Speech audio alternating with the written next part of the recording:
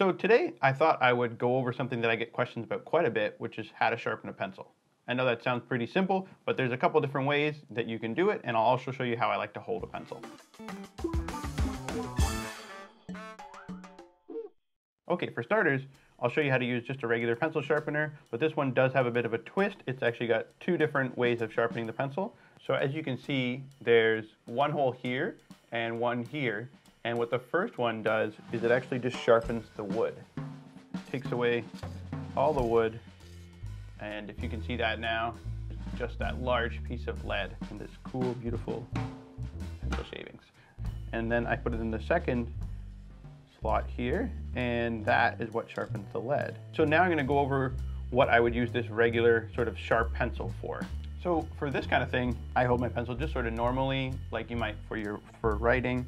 And the thing about this is it's great for making one line and for drawing details. Hold your pencil, like no matter how I twist my arm, I can't make any different line. No matter what I do, that's all I get.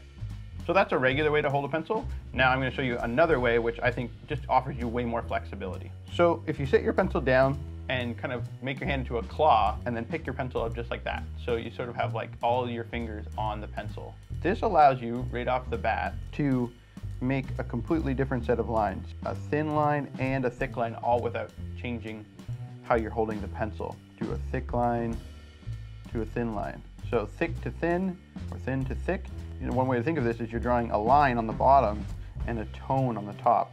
There's definitely no way to do that if you are holding your pencil like this. Draw pretty big and broad, but I can also go from thin to thick, thin to thick, you can practice that. So I'm gonna show you another way to sharpen your pencil that makes it even better for this technique.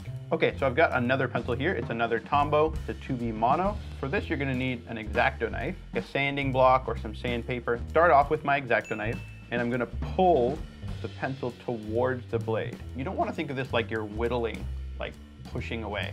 I've got my thumb on my blade and I've got my other thumb on my pencil and I'm gonna put the pencil up against the blade and pull back with my thumb. And you, you wanna be careful you don't actually hit the pencil lead. So you wanna sort of be controlled and don't rush. Now as I get close to the lead, I'm gonna slow down and just sort of look here and double check where the lead is and what I have to take off, just to make sure I don't take off, gouge the lead. And you gotta be patient, it does take a while. If you rush it, you'll break the lead. Okay, so now that I've taken off most of the wood, I'm gonna actually sharpen the lead. To sharpen the lead, you could do two things. If you have one of these pencil sharpeners that just sharpen the lead, you can do that to get started. And now I've got a nice sharp pencil that I can make some pretty thick lines with. Sometimes you might want to do this just to test out if there are any chunks of wood left on the lead, which there is here.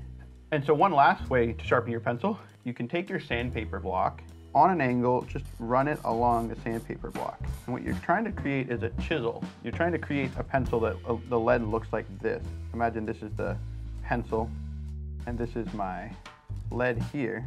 What you're trying to do is instead of creating a even point, so that's a chisel point. And what this allows you to do is really get quite a thick line out of your pencil, but I'm gonna have to hold it the normal way I do.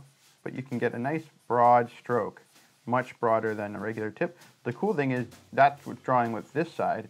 If I flip it over and I draw with the point, I can still get a very fine line, maybe even finer. So this is a great, a great way to, to use your pencil too, the chisel point.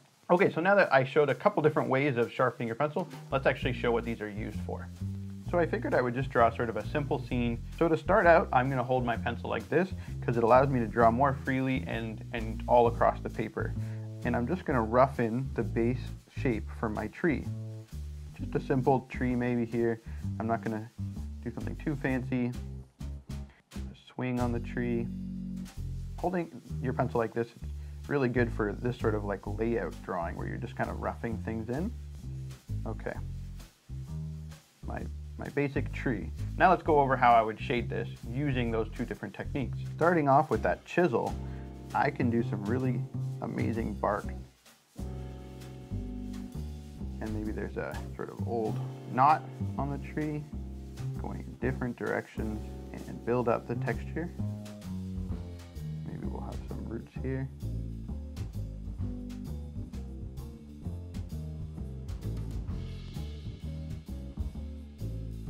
And I'm changing the direction of my strokes to sort of go around.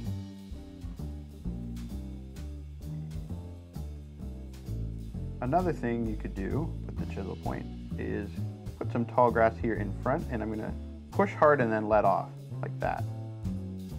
And maybe I'll put some behind the tree. Pushing harder in the front makes some stand out. You might have to turn your paper just to get the right curve. So holding your pencil like this is great for doing sort of details, but you might find you still want to switch over to a regular sharp pencil. That might be better for this.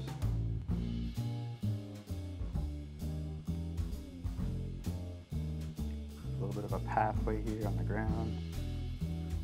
And maybe in the background I'll put some more grass but this time I'm going to use a thin pencil.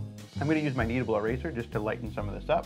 I want a little more contrast in the top of the, the swing just so it stands out a little bit more. And I'm going to go back to my chisel point and I'm going to put in maybe a big rock here.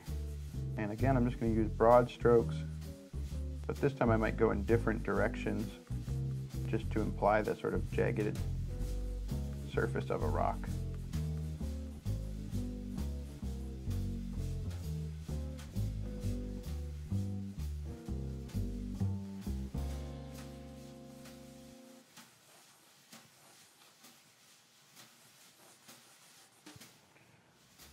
So there's my quick demo, just showing you a couple different ways to sharpen your pencil and use it for shading. There's lots of different ways to do it, but hopefully these two might give you some ideas about uh, things you can try. And yeah, it's really fun to, to um, play with these techniques and it might just be something you never try because in school or when we're writing, we always hold our pencil the same way. But for drawing, you can, you can hold it lots of different ways. So whatever you're comfortable with. Thanks so much for watching and I'll see you in the next one.